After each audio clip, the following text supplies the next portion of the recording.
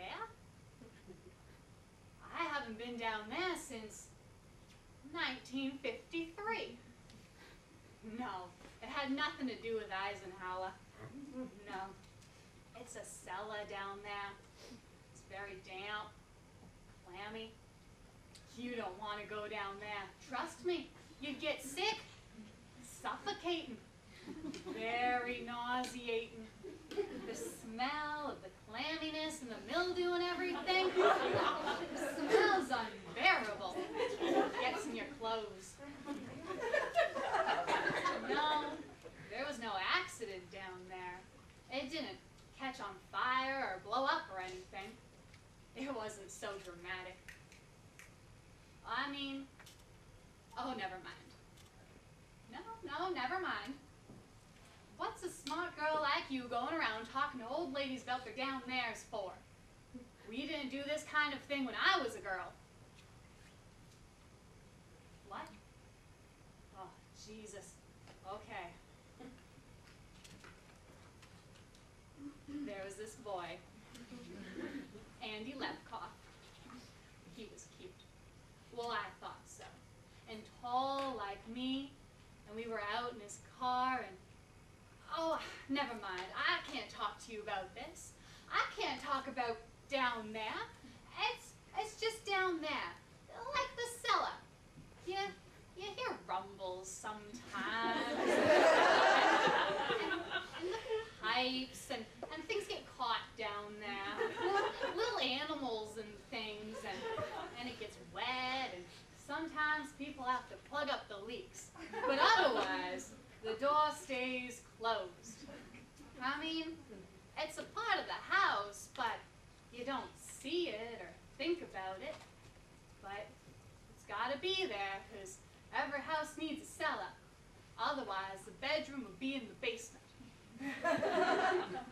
huh? Oh, Andy. Andy Lefkoff, right. Andy was very good looking. He was a catch. That's what we called it in my day. We were out in his car, a new white Chevy Bel Air. I, I remember thinking that my, my legs were too long for the seat. I have long legs. And they were, they were smushed up against the dashboard. And I was staring at my big kneecaps when, when he kissed me all of a sudden in a kind of take you by surprise like they do in the movies kind of way. And, well, I got excited. So excited, and well, there was a flood down there. I couldn't control it. It was like this force of passion, this river of life just flooded right out of me, right through my panties, and right onto the car seat of this new white Chevy Bel Air. it wasn't pee and it was smelly. Well, quite frankly, I don't remember smelling anything at all, but, but he said, Andy said, that it smelled like sour milk and that I was staining his car seat. I was a stinky, weird girl, he said. I, I tried to explain to him that, I, that his kiss had caught me off guard, that I wasn't normally like this. I tried to wipe up the flood with my dress. Oh, it was a new yellow primrose dress, and it looked so ugly with flood on it. Andy drove me home without saying another word. When I got out of the car and closed the door, I closed the whole store, locked it, never opened for business again. Hmm. Sure, I dated some after that, but, but the idea of flooding made me too nervous. Never even got close again. I used to have dreams. Oh, crazy dreams. Oh, they're dopey. What? Burt Reynolds. I don't know why. Oh, he never did much for me in life, but in my dreams, oh, it was always Burt and I, Burt and I, Burt and I. We'd be out, Burt and I. It would be some big restaurant you'd seen in Atlantic City, one with the chandeliers and the thousands of waiters with the little vests. Burt would give me an orchid corsage and I'd pin it to my blazer. And we'd laugh. We were always laughing, Burt and I.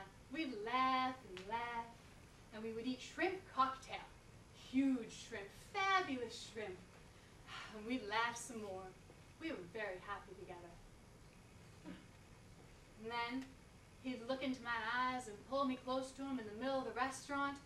And just as he was about to kiss me, the whole restaurant would start to shake. And then pigeons would fly out from under the table. I don't know what those pigeons were doing there. And, and, and the flood would just, just come out of me. And it would pour and pour. And, and there would be fish inside it, little boats. and the whole restaurant would fill up with my flood. And Burt would be there waist deep in it, looking horribly disappointed in me that I'd done it again. Horrified as he watched his friends, Dean Martin and the like, swim by us. I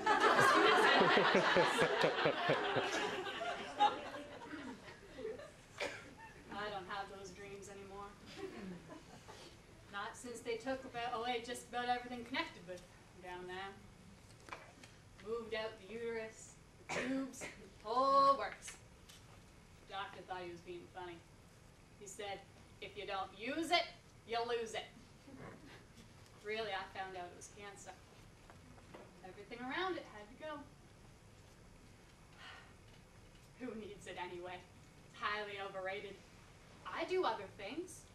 I love the dog shows, and I sell antiques. Hmm? You asked me what it would wear. What kind of a question is that? What would it wear? It would wear a big sign, closed due to flooding. and what would it say? I told you it's not like that. It's not like a like a person who speaks. It stopped being a thing that talked a long time ago. It's a place. A place you don't go. It's locked up under the house. It's down there. You happy now? You made me talk. You got it out of me. You made an old lady talk about her down there. Are you happy now? You know, actually, you're the first person I ever talked to about this. I feel a little